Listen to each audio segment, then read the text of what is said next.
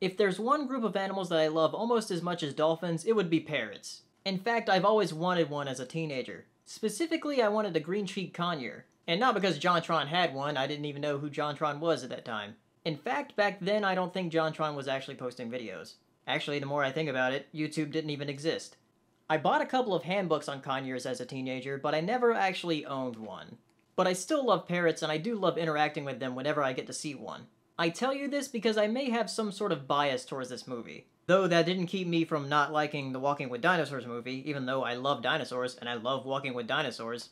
That movie was bad. Anyway, I saw the first Rio, liked it, saw Rio 2, liked it, but not more or less than the first one. The plot of this one focuses on Linda and Tullio who found a new colony of Blue Spix's macaws that have been hiding from people. Blue and Jewel see this on TV, so they decide to go fly after them. Now, I did say I like this movie. That doesn't mean it doesn't have problems.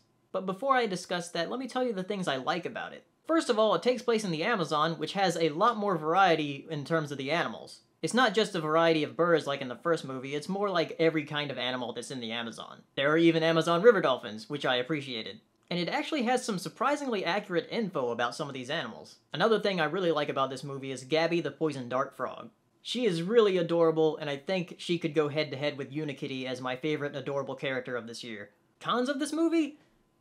will.i.am is still in this. And even worse, Bruno Mars is in this. I really don't like Bruno Mars. His songs are terrible.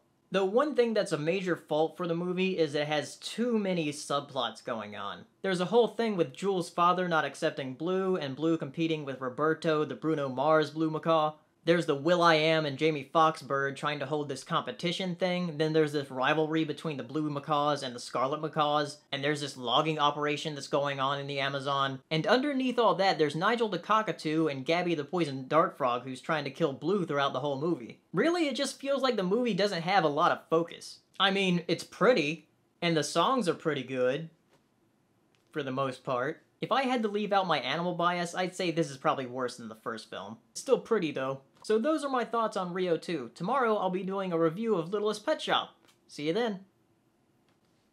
And if you enjoyed this video, please give it a like and share it. And subscribe for videos that I upload every week.